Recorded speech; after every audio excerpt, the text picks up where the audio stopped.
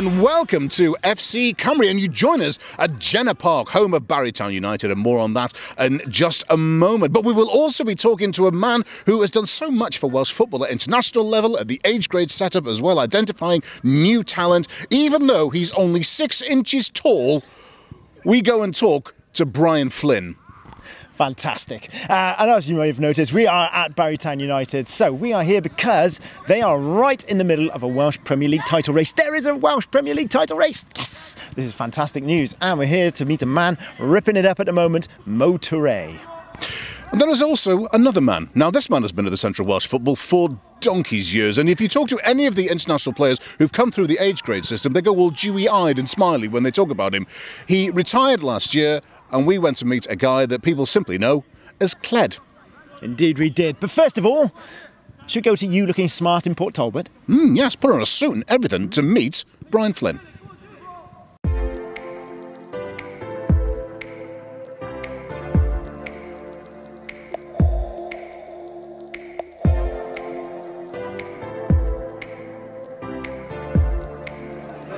Leon Barton is the author of uh, Little Wonder. Never written a book before. No, first, first book. Why this one? It was a story that needed to be told, and uh, no one else seemed to be doing it, and uh, so I thought I'd give it a go myself.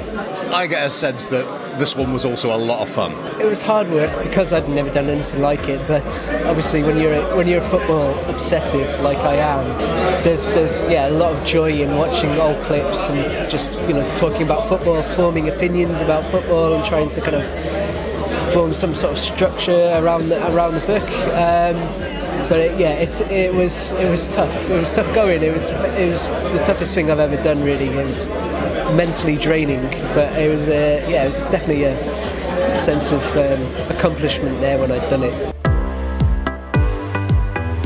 Brian was the only one who took, he was the one who gave me an opportunity. No one else wanted to give me an opportunity. So when I got the phone call from Brian to come down, it was like I didn't care. I was like, come down. But I owe him so much, you know. No, like I say, at the time, no one wanted to give me an opportunity. I wanted to go out and play first team football on loan. No one would do it except for Brian. Got a phone call. Brian said, "Look, come down. Two week trial. You have a look at us. We'll have a look at you, and we'll go from there." But um, no, like I say, we talk about Swansea and me being here for so long, but without Brian giving me the opportunity, you know, there wouldn't be the history of me in Swansea. Why do you think he, he, he stands out? Why there's so much respect for him? He's great at finding talent, seeing talent that maybe other people don't see, uh, and identifying it early. You just enjoy playing for him. You know, just that freedom of going and enjoy football with good players. I don't have to give you loads of information and get on with it. And that's yeah, that, that kind of man management skill was, was second to none with Brian. Oh, Brian, what a lovely evening. Have you enjoyed? Oh, absolutely. Old friends, reminiscing some of the off air, some really good stories that I'd forgotten from uh, from the past, the younger days in school, and then obviously the early football, the footballing days, and then obviously uh, warm a warm reception for my career. But uh, that's what I expect from Port Talbot. This side in the 70s, what was that like to play in then? There's some great Oh, it players was a there. good team system. We had a 4-3-3 system with uh, Leighton James playing wide on the left, two strikers, Alan Curtis, John Toshack, playing alongside Terry Yorath and John Mahoney in midfield was like a dream, a perfect midfield partnership trio. And uh, as a young player coming in, you you made instantly as part a major part of the team. What your career sums up is the importance of foundations. Yeah, you have to have a you have to have a foundation, but key to that is player knowledge. And if you haven't got player knowledge, you've got nothing in football. That's why I would go out seven days a week to, to watch players because you never know where you might see the next gem. And so it's important all your player knowledge is at the very top end and is constantly topped up. So that's how you get the best and you can have to build a team over a period of time. What are you looking for? How do you know when you've uncovered a little gem? And, uh, and, and, and, and you, you're pretty sure that nobody else has spotted it? look, everybody can see the best ones. Everybody's looking at the best ones. It's that level below, that, as I mentioned earlier. Has he got potential? Are you able to get that potential to a higher level? And that's the real art of spotting. A gem. If you had a law to live by in the Book of Flynn, what would it be as a coach? Of technique, insight, personality, and speed. Simple. The door, and every one of them was sitting inside, every player. And at the end of one table was a baby chair. I think it's funny. I got in it.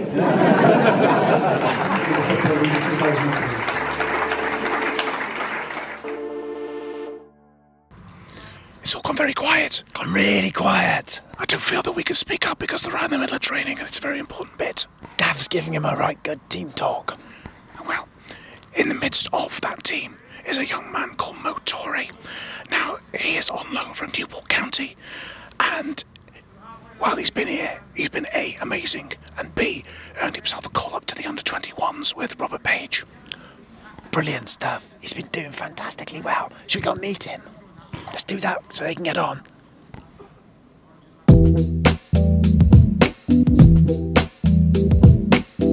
Who is Mo Touray? Uh, he's all right, enjoying the Welsh Prem and doing better than what I thought I would have done when I first came here. And the people around Barry enjoy me playing, so I'm just happy making everyone else feel good about themselves. So So on loan from Newport County.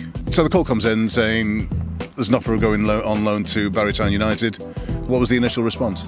Well, when I first heard the gaffer of Newport said that I was going to go on loan, I thought, yeah, that's what I need. Game, experience and play men's football.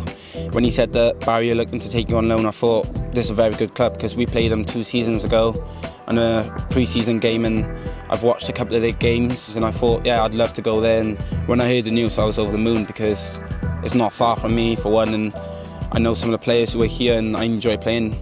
So I thought, yeah, I can't wait to put a kit on, do as best I could, and so far I've Im- I've improved from last year, and I feel like there's more to come of me. My aim is to get 10 or more goals this season. So if I get that, then I've reached my target. If I can get more, then that's a bonus, really. Gav and Michael Flynn, they're two big characters, big coaches. Are, are, there, are there big differences the way they approach things? They're very similar. They know what they want from their team. They know the structure of how things go, and they know opponents very well, and they like to go into details about them. And they both have the same structure of how they want to play, how they want to look at teams, and they always end up getting results. And as you can see now, they're both successful. Both got good connections with each other, so what they're learning, they give into other players, and I'm lucky to have them too coaching me because I'm improving as a player. So I'm glad that I've got that opportunity. They're obviously doing well with their coaching because they're going on to do their pro license, and I feel like they're improving and they're helping me improve as well. Mm. And it's paid off. You get a call, come up to the uh, Robert Page is on the phone, under 21's manager, says come and join us in the under 21 setup. How did that go? Um, I was over the moon when I found out. Um, I didn't expect to come on, so that was good. And I came on at a late stage where I thought that was good for me. I thought that I came on at the right time. It was a hard game to come to, but I thought I did well when I got given a chance. And I looked at the game again and I thought that I could hopefully Yeah. get another call up. Who uh, who messaged you first afterwards? Was it uh, Gav or was it uh, Flynn with uh, with uh, uh, congratulations, well done, anything like that? Well, I think they both messaged me at the same time, but Yeah, yeah, yeah, yeah, yeah, yeah. Um, yeah. I, I just had messages off everyone saying congrats, and I just can I just want to thank everyone that supported me from when I was at bottom. And Hmm. I'm just happy that they still stuck with me. And then finally, um, 19s, 21s. Who's uh, whose spot you got uh, got your eye on in the uh, the senior setup then? Oh, I don't think I can say that yet because I don't know. I just want to keep playing and improving, and hopefully, if I do well at 21's level, if I get to the first team, then I just want to show what I can do to everyone that don't know who I am yet. But my aim is just to keep playing, keep injury free, and hopefully, Smash it. yeah, hopefully smash it.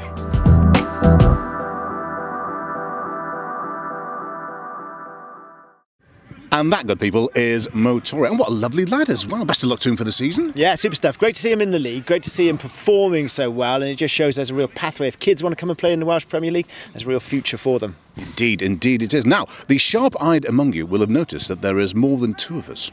And that's because we wanted to talk a little bit about the Welsh Premier League title race. But to do that, we thought we need to talk to someone who knows about the Welsh Premier League title race, which is why we brought Sgorio's Dylan Ebenezer in. Welcome, welcome to FC Thanks very much. It's, it's, it's an honour to be here. It is, isn't Watched it? the shows, loved it, loved it. Um, uh, great to be here. Uh, and of course, we're here at uh, Jenner Park and Barry Town. Many wouldn't have picked them to be in the title race at this point, and yet here they are, one point off as we speak, and really enjoying themselves. Oh, absolutely. And um, we love watching them as well. And the fact that you're mentioning a title race just makes me smile. People say I smile anyway, but I'm smiling because there is a title race this season in the Welsh Premier League. It hasn't been one for a while. Saints have just been absolutely dominating it. But I'm not sure if Barry are part of it. Think they are. I think they are. People uh, argue with me about that one. But Connah's Quay are there. It's tight. So it's great for us. Bit of excitement. Well, there is somebody who wouldn't agree with you, and you might be surprised to figure out who it is, but it's actually Gavin Chesterfield, the manager of Barry Town United. Gav, thanks for having us along this evening. Uh, Barry Town United flying this season, mate. One point off the top. Um, can you stay with it? Can you stay in this title race? Oh, we're not in the title race, mate. I know it'll be defeatist, you know. No, this Is this what you learn on the pro license course? I haven't learned that yet. No, um, no. The truth is, is that look, the two teams above us are full time. Yeah. All right, and we're a point away from TNS. If somebody said that to me after 12 games, I'd have snapped your hands off. You know. So uh, for us, it's about being humble. It's about working hard, and it's about being the best we can be. You know. And the target hasn't changed. Last year we wanted to beat, or this year we want to beat our target of last year. And if we do that, and you know, we'll see where it takes us. Great for the Welsh Premier League, though, to have teams competing so closely at the top of the table this time round. Yeah, absolutely. You know, you've got to give other teams credit as well. I think Newtown have had a really good start to the season as well. You know, Caernarfon have been a great addition to the league, and yes, uh, it's, ma- it's you know the Welsh Premier League's exciting again, and I think that's what it needs. Well, Gav says not, but do you think that they can sort of hang on to the coattails of those big two? And then I guess you've got Bala in there as well, haven't you? Yeah, I don't know. Um, the squad's got so much better. You look at them recently, and the bench is impressive. All the ex-pros, the first thing they do, they look at the bench, don't they? They want to see what, what strength and depth they got. And Barry, you've got some strength and depth. Uh, I think we'll see. I think they might just be in it. Newtown have had an amazing start to Yes, the season yeah, yeah. as well. You wouldn't expect everybody to keep up with them, but something special going on here, and uh, I wouldn't put it past them. Can you pick a, uh, a winner at this point? End of the season? Who's going to be there? Who's lifting the cup? It's easy to say the new. I wouldn't be surprised if Connah's Quay do it this year. They're on a mission, and if Andy Morrison's on a mission, look out! it's not a brave man will stand in his way. So I wouldn't be surprised. you. yeah, I think Barry Yeah. will push it. I don't know if they'll last the whole nine months because the second part of the season, then it's you go top six, bottom six. So you're playing the big boys every week. They're good enough because they've beaten them this season. They've beaten Bala twice already, so they're doing well. Uh, but I might just say Connah's Quay. Interesting you said about uh, fans coming through the gate. So big November. I think these guys played Connah's Quay, they played TNS back to back. I think one of the games is after Wales play on the Friday. So if you're a fan, why not come along? Well, yeah, it's easy as someone who watches a lot of the games in the league. You know there's a good product here. How do you get that message out? It's a tough one. Barry Town coming back was a massive boost to the league because they get they're, they're a club with proud tradition, fans here. They've got you know guys ringing bells. There's an atmosphere. Caernarfon have come back in and they're getting over a thousand on a Friday night. So it's there. There's uh, it just needs to be tapped into somehow. But I know loads of people once they come down, it's getting them there for the first time, and then once they're there, they they tend to come back. Uh, well, th- uh, Dylan, thanks very Thank much. you very Uh, much. thanks very much for uh, a debut appearance on uh, FC Cymru. And, uh, you know, uh, and I'm cold. and you're cold. He is cold. He is. He is cold. But um, you know, uh, some of us wear hats. Um, we're going to go from uh, Park here, and we're going to meet a guy who has. I mean, Dollar's been knocking around Welsh football for years, but there's a guy who has been knocking around Welsh football for a lot longer than that. He's been at the centre of the age grade setup in the Wales team just for years. And you talk to any of the Wales players, and they know this man, and they absolutely adore him. He announced his retirement uh, last season, but we felt that we needed to get to know a man that everybody simply calls Cled.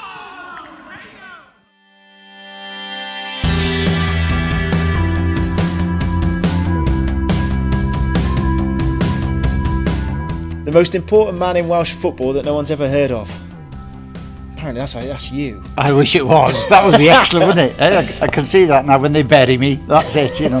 Uh, I wish, I wish. Been involved for a long time, obviously. How long have you been involved with the FAW? With the FAW, uh, 10 years with Oshan and, and his uh, team, obviously. The first type of international involvement I had was when James Collins was an under-15. And then since that time, of course, there's been hundreds of them. And, and I love the fact that I keep in touch with the majority of them, to be fair. Even, you know, the most famous who have gone on to play in the Premiership to those who are still playing local football uh, in their own village or county. I still keep in touch and I love doing that. You're there just for the lads, really, to make sure that if there is a problem, they can approach you. You've got to be approachable. Um, and certainly with the experience I've had, I can more or less sort most problems out. So you've got to get them to do schoolwork. They come here to play football, and you've got to get them to do schoolwork. that, that's right? the most difficult. Um, can you imagine? You know, 18 boys wanting to come play football, and uh, they just hate the idea that they've got to uh, do um, schoolwork. Do they take it okay? Are they kind They're of good. focused? They, Are they Yeah, hate yeah. it. To be fair, Yeah, yeah. you know, it's it's like uh, taking them into a, a sweet factory and then saying you can't eat the sweets um, because they come in, they have to do the schoolwork. To be fair, they, they do they do a good amount of work on, on the on the camp because it is hard. They're tired, you know. They are tired.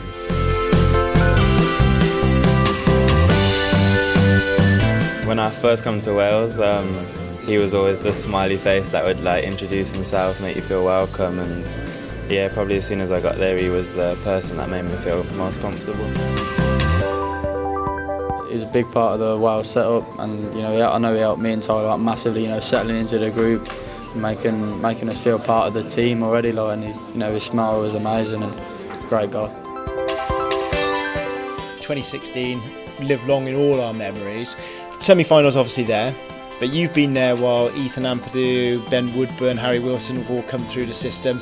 You think they can surpass what was done? Yes, I really do. Um, I remember saying to a broadcaster uh, when we won the Victory Shield that this group of players will, will go on to great things, and I still believe that. And with those players, there's obviously a lot of English-based players. There's Yes. Welsh heritage. How do you get them to feel? why do they, how do they feel Welsh? You guys go through? I, I, th I think it starts from the very beginning when you get them into the regional camps and then into the national camps. You make them realise how important it is. Um, the philosophy that everybody has, uh, Ian Gwyn Hughes is with the FAW has really brought that to being as well with the first team. And I try and convey that because I'm a very, very true Welshman at heart and I'm very proud of that um, and the way we approach singing the national anthem and I give them a bit of the history of that, history of Wales and they see what's involved and, and they appreciate that and they take it on board. Um, and I've got so much admiration for them for doing it and learning the Welsh national anthem which is so difficult and they do it in a matter of weeks. And they do, they throw themselves into it? Oh yes they're not if you were if you were, if you were on X Factor we wouldn't have much of a chance but they learn the words and they do it well. You get them to rap it as well. We do. We rap it as well. Yes, that goes down How quite earth well. do you yes. rap the- Oh yeah, you can rap the national anthem quite well. Can you? Yes. Oh yes, yes, yes. I'm I'm not going to do it for you now. I'm no, almost no. tempted to ask you to do it. But it's uh, quite easy to do Yeah. actually, and they do lo- love doing it. Yeah. Yeah,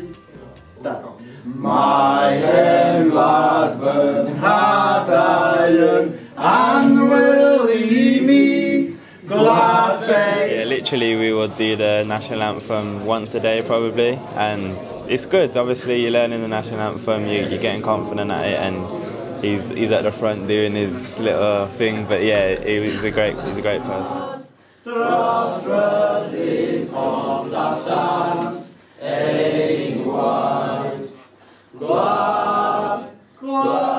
You're not going to uh, leave us completely, are you? No, I'm your retiring from this squad uh, in November. Uh, some of the parents are still taking the mick. They're waiting for me to retire and I still haven't. Uh, but I will be finishing in November, but not with everything else. No, I'll be carrying on.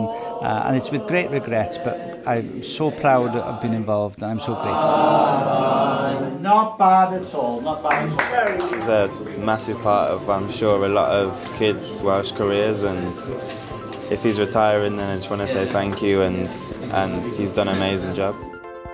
Fantastic servant for the, the Wales setup, and you know he's a great person with uh, great morals, and you know he's a, played a big part in my Welsh career, and so obviously thank you for everything you've done for me, mate.